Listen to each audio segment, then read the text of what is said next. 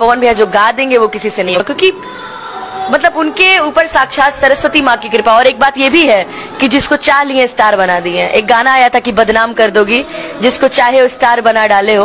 और सही बात है, उन्होंने जिसको चाहे, जिसके भी सर पे उन्होंने हाथ रखा है, माँ सरस्वती का हाथ है, वो आज कहीं ना कहीं बुलंदी पर है। शुरुआत में ही आपने सुन लिया होगा कि अनुपमा यादव ने पवन सिंह को लेकर क्या कहा है। जी हाँ अनुपमा यादव जो कह रही हैं, उसमें कहीं से कोई भी त्रुटि नहीं है या यूँ कह लें कि वो शत प्रतिशत सच कह रही हैं। आज तक पवन सिंह ने जिसको चाहा उसे स्टार बना दिया है। लेकिन बदले में पवन सिंह को मिली है तो सिर्फ़ बदनामी।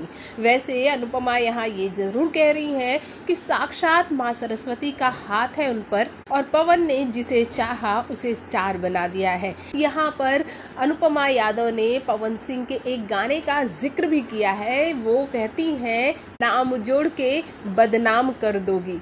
और इस गाने को जिसने भी सुना, सभी ये कहते हैं कि पवन सिंह के लिए और उनकी जितनी भी गर्लफ्रेंड हैं या उनसे जुड़े वो लोग जो कि उनका नाम लेकर विवाद करते हैं, उनके लिए ये गाना सबसे परफेक्ट है। वैसे अनुपमा यादव को भी पावर स्टार पवन सिंह का पुदीना में सॉन्ग में साथ मिला।